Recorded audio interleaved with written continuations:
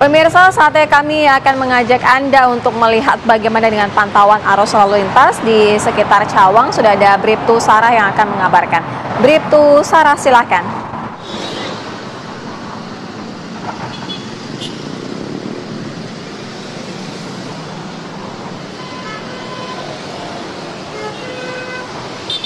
Baik, terima kasih Vira dan Alfa serta selamat pagi pemirsa dari Cawang. Saya melaporkan situasi arus lalu lintas pada pagi hari ini di mana sudah mengalami peningkatan volume kendaraan baik untuk arus lalu lintas dari arah Cililitan ataupun Keramat Jati akan menuju ke Kampung Melayu ataupun juga Salemba dan yang akan berbelok kiri mengarah ke Pancoran atau MT Haryono sudah dalam keadaan ramai, terlihat peningkatan kendaraan pada pagi hari ini masih didominasi oleh kendaraan roda 4 dan juga roda 2. Tentunya kami menghimbau untuk tertib dalam berlalu lintas dengan selalu berhenti di belakang garis stop saat Anda berada di traffic light untuk menjaga keamanan dan keselamatan Anda saat berkendara.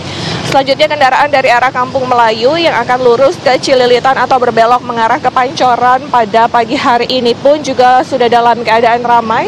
Perlambatan kecepatan dan antrian kendaraan ada pada traffic light sejauh sepanjang 100 meter di belakang garis stop.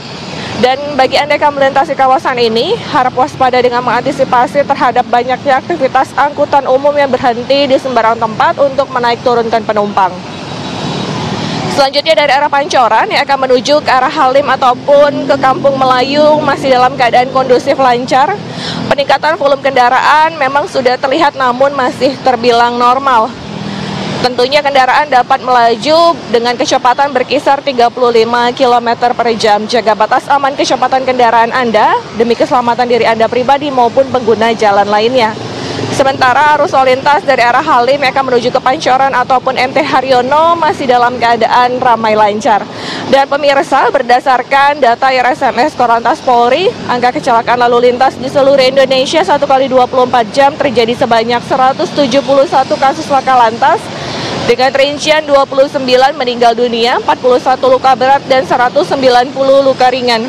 Salah satu faktor penyebab laka ini dikarenakan gagal menjaga jarak aman dan hilang konsentrasi saat mengemudi.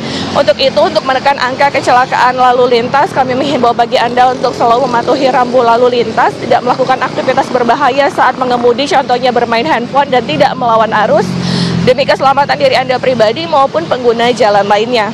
Dan untuk informasi tentang kondisi arus lalu lintas, Anda dapat menghubungi call center kami di 1500669 atau melalui SMS Center di 9119.